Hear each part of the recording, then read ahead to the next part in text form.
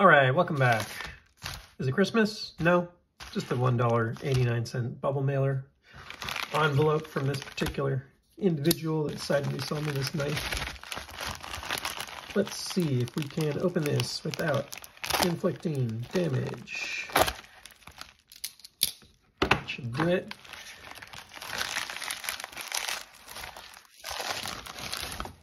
Ooh, cool.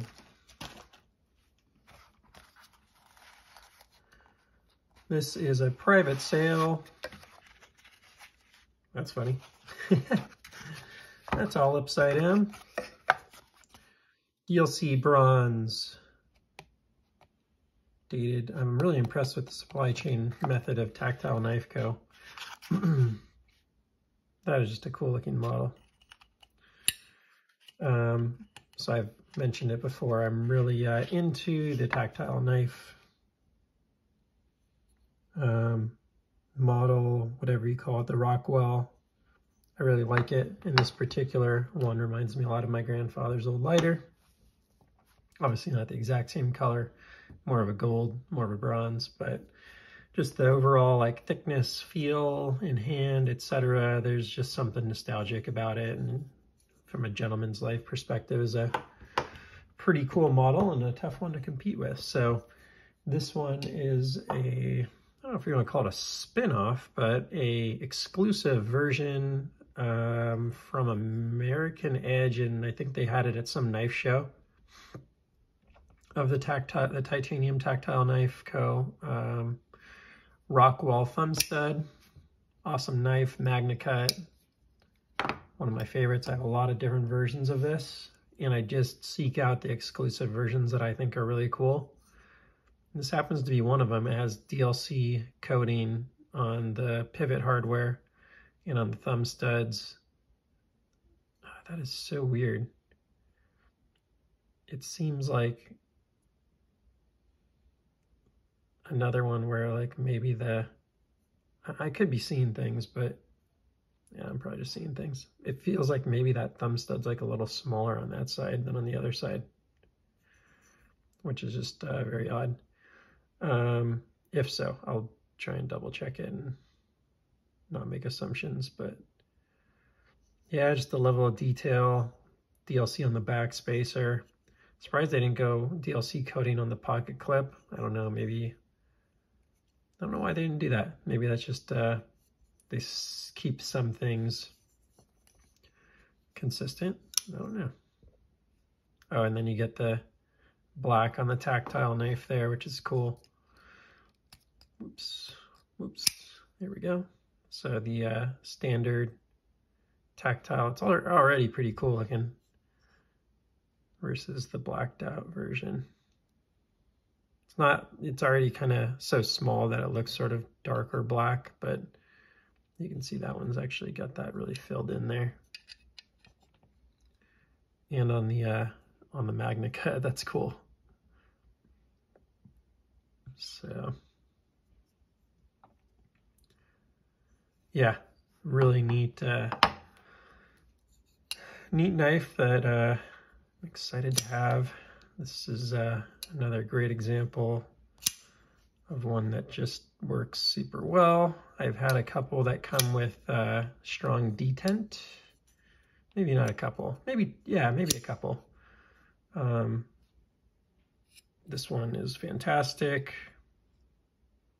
The grind looks a little different than the other one I have here. Like it looks a little short. It's still sharp. Let me uh, out some paper real quick. Not super sharp. Kind of hard to get it in there. Let's see by comparison. There's this piece of paper. It's real slicey. Yeah, this thing is not super sharp.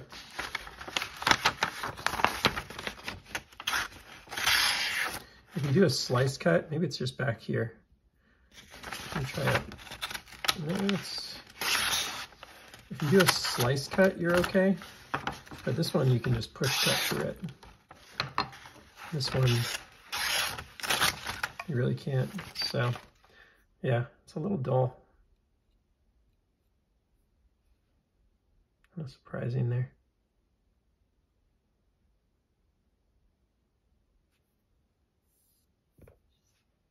But that's what knife sharpeners are for.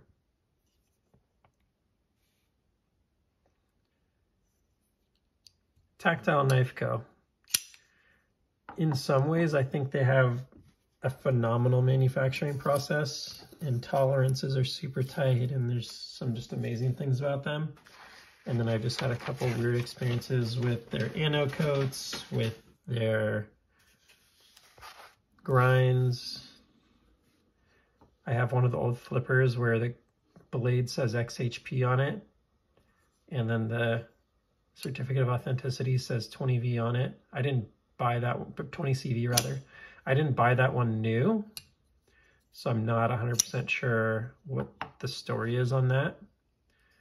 Um, but I think, you know, this is like their first, what I'll call production line. They've put out some small batch, if you will, productions, but this is their first time going broad production. For some reason, I like miss the reverse flick on this one a lot. I don't know what it is the detent on this one's definitely stronger than on this one. This one's got an extremely light detent to the point where I'm check, gonna check. It's still rock solid there. This one might just need to get backed off a little bit here. The thumb's working phenomenally here. I'm gonna switch to my fingernail, but I can like put the tip of my thumb into this and get it out like every time now. Uh, when I first got it, it was a little strong. The finger flick though is a little inconsistent. Part of it's just, this is cut back more. It's not much, maybe it's the same. It's not cut back more, is it? Um, anyway. These are not like my everyday carry knives. Um, they're a little small and a little fancy, if you will. I don't know what the right, the main reason is. I actually wouldn't mind probably this basic one carrying this on a daily basis now. Now that it's loosened up, I could probably see myself doing it. Just a little, I could, I could do it. There's something not quite there for me on it, but I can't quite place it. You know, versus the Demko, I just feel like the Demko is a little more rugged or something. Like an EDC. These are definitely a definitely a gentleman's knife. Potential EDC is there. It's light enough. It's tough enough. You got MagnaCut, corrosion resistance, titanium. Like there's, feels like it should be like a little bigger and tougher somehow. And like the accessibility here, I do have to like focus way too much to open it.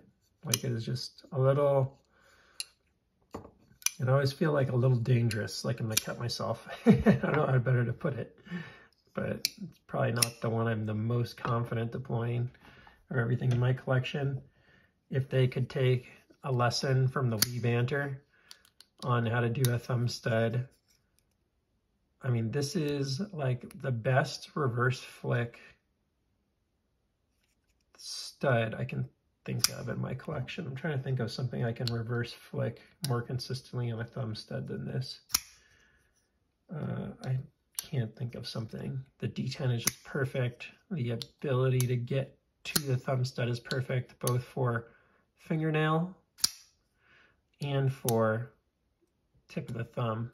Of course, then I miss it. I'm kind of turning it in a weird direction to show it on the video. And then for the reverse flick. That is probably the best, one of the best deploying. It's a little strong on the detent. It's just a little strong. It could be like 20% less. And it'd be that much better. But it's kind of nice because you like feel like it's robust the way it's done. But I can't think of a, of a thumb stud that has those three deployments quite as good as that one. And I feel like this knife could kind of benefit from a couple tweaks. Um, but I think what they're doing is they're bringing out a new line that will appeal to people with bigger hands and probably play a little bit of a different role in their lineup. So I'm a total um, you know, I don't know what the right term is, nerd on these or like collector on these. Um, I just love them. One of my favorite ones is this one. It is the Monkey Edge frag pattern. I just think that this is so cool looking. In fact, if I was going to carry one of them, this might be the one. It'd be either that one or this one. I'm not sure. This one actually I feel like is a little easier to deploy. The detent's just a little better on it. So just because of the two that I happen to have, and maybe I could mess around with like loosening the pivot screw a little bit on that one. That one's got perfect lockup too. This this one feels like an EDC to me actually.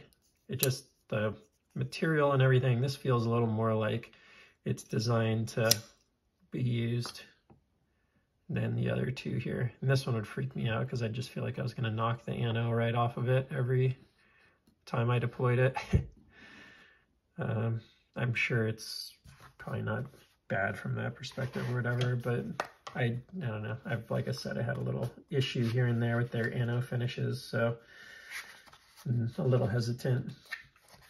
So I also have the, uh, gosh, do I have another one coming in? Got the golf ball here. Boom. Not my favorite. I might, I might sell that one to be honest. Not my favorite of the of the bunch. And I gotta just pull this one out of the actual box and show you the box because I'm so nerdy on it. This is the original, the OG with the uh, flipper. So it's not the thumb stud, it's the Rockwall flipper. And that one is a, uh, where is it? It's written uh, in there.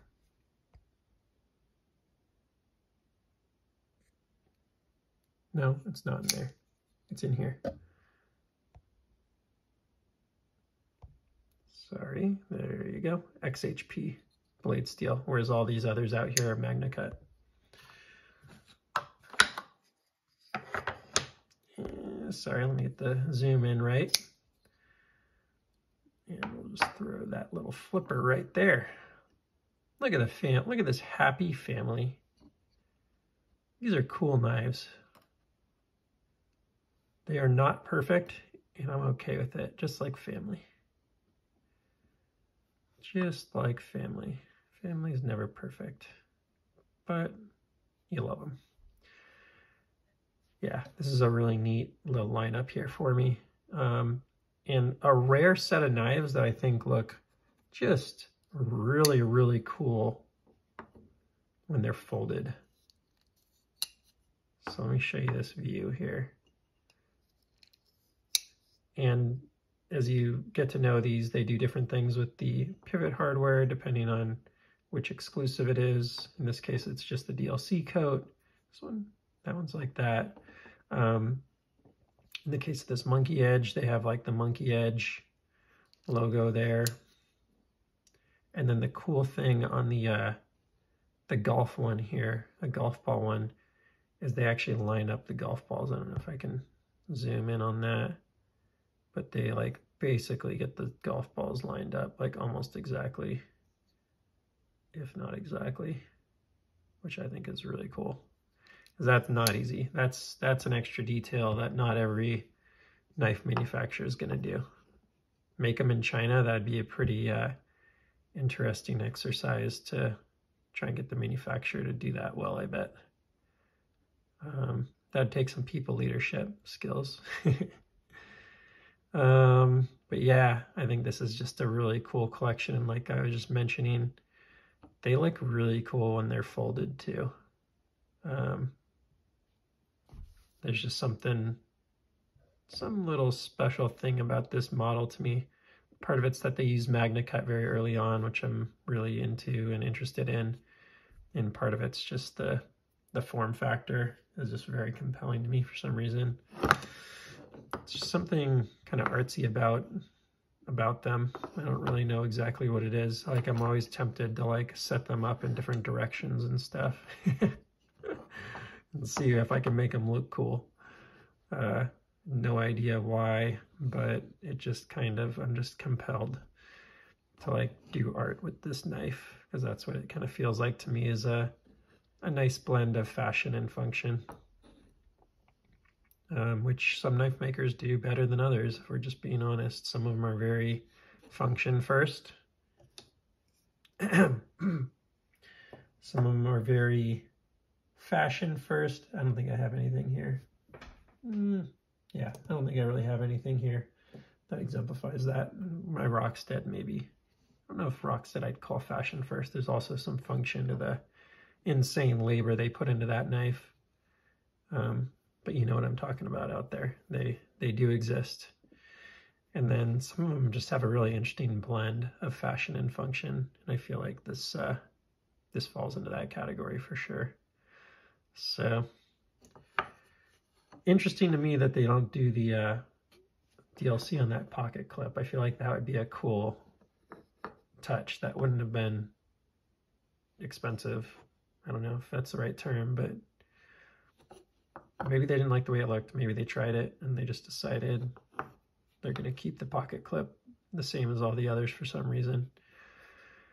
Maybe it was functionality. Maybe it was, you know, wear on the pocket. Who knows? Um, but that's just interesting to me that that doesn't have the black DLC on the pocket clip too. I think that would have been a, that feels like the right thing to do on that one to me.